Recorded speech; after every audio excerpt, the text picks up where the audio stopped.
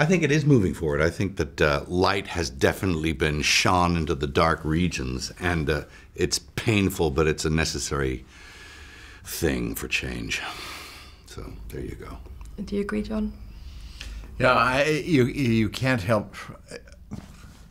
It's an incredibly difficult thing to talk about in the context of a comedy interview.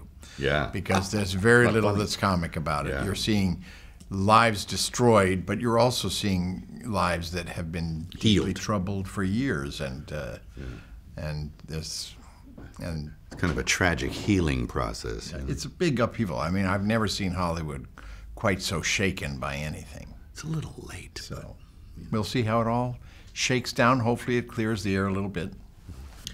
Well, I, I mean, I think everyone's hopeful that this is like a real turning point, and and that people are learning from this. People, you know, uh, that you know, it's you know, the only silver lining in all of this is that it, it feels like victims of this abuse are feeling safe enough and bold enough to come forward and tell their stories, and and we need to continue to have more of that and eliminate it altogether.